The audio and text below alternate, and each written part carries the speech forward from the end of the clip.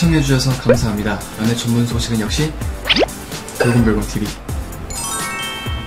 안녕하세요. 돌곰별곰TV 별곰입니다. 자, 이번 시간에는 컴백이 기대되는 투모로우 바이투게더에 대한 소식을 전해드리도록 하겠습니다. 제가 지난 영상에서 투모로우 바이투게더의 첫 정규 앨범 트랙 리스트가 공개되었다고 전해드린 바 있었는데요. 투모로우 바이투게더가 두 번째로 선보이는 꿈의 장 매직은 첫 정규 앨범으로 데뷔 앨범 꿈의 장 스타에 이어 꿈을 쫓는 소년들의 이야기를 또 한 번 그려냈다고 전했습니다. 어, 기대가 정말 많이 되는데요. 여러분, 구독과 좋아요 잊지 마세요.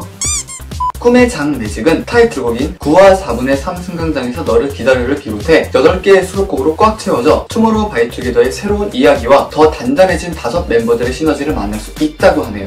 더더욱 기대가 많이 됩니다. 투모로우 바이투게더는 독특한 그룹 이름만큼이나 데뷔곡의 제목 또한 유니크한데요. 이번 앨범에서도 이들만의 유니크함은 계속되었습니다. 그들은 데뷔곡 어느 날 머리에서 뿔이 자랐다에 이어 이번 앨범의 타이틀곡을 9와 4분의 3 승강장에서 너를 기다려로 정했는데요. 와 일단 제목만 봐도 엄청 깁니다. 외우기도 힘드실 거란 생각이 드는데 이만큼 곡 제목이 정말 특이해요. 그래서 더욱 호감이 가는, 관심이 가는 그런 그룹이라고 말씀드릴 수가 있는데요. 그쵸? 기존의 그룹들의 노래 제목과는 확연히 다른 차별성을 두고 있습니다. 그리고 노래가 너무 좋습니다. 또 데뷔곡이 그죠? 이는 해리포터에서 호그와트행 기차행으로 통하는 길이 9와 4분의 3 승강장이었다는 점과 지난 14일 공개된 뮤직비디오 티저 영상에서 마법 세계가 펼쳐지는 모습을 그렸다는 점에서 이번 타이틀곡이 해리포터와 연관된 요소가 있음을 짐작하게 하기도 했습니다. 투모로우 바이투게더는 데뷔 미디어 쇼케이스 당시에 우리가 가장 잘 어울리는 건 소년미라고 생각한다라고 밝힌 만큼 독보적인 감정을 밝힌 바 있었는데요. 이번 앨범을 통해 한층 더 강해진 유니크함은 물론 더 성장한 소년미를 선보일 것으로 보여 대중들에게 큰 기대감을 주었습니다. 저 역시도 기대가 너무 많이 됩니다. 또한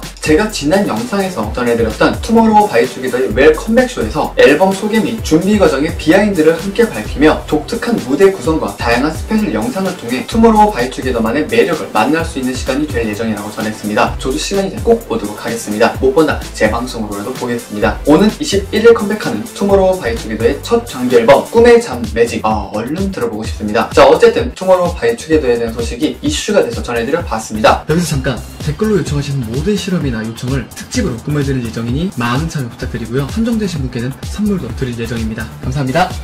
영상을 재밌게 보셨다면 구독과 좋아요 한 번씩 눌러주시고요. 지금까지 붉은별곰TV의 별곰이었습니다. 감사합니다.